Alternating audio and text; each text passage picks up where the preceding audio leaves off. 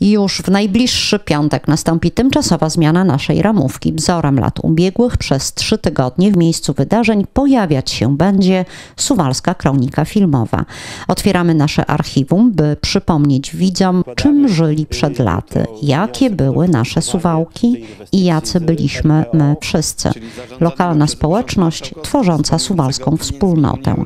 Pierwsza z kronik przypomni Państwu wydarzenia z 4 lipca 2002 roku. Był to ponad wszelką wątpliwość dzień, który wciąż pozostaje w pamięci bardzo wielu Suwałczan.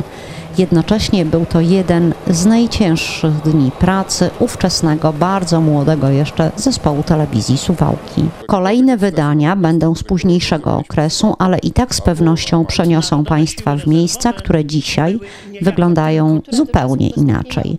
Pozwolą wspomnieć ludzi, zdarzenia, sprawy, problemy i radości sprzed lat.